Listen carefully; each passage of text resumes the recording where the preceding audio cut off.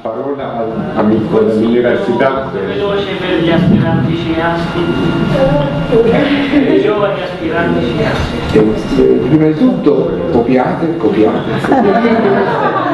cioè voi, allora se uno ama una- un film, due film, allora uno dovresti vederli, vederli, vederli, vederli, vederli e poi provare a scriverli. Cioè i movimenti di macchina sulla memoria, no?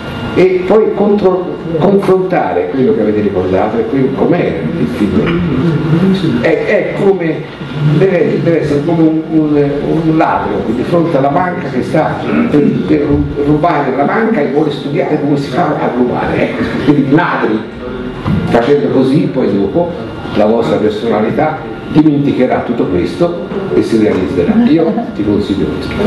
Se trovi soldi. Grazie a Maestro Paolo Fabiano.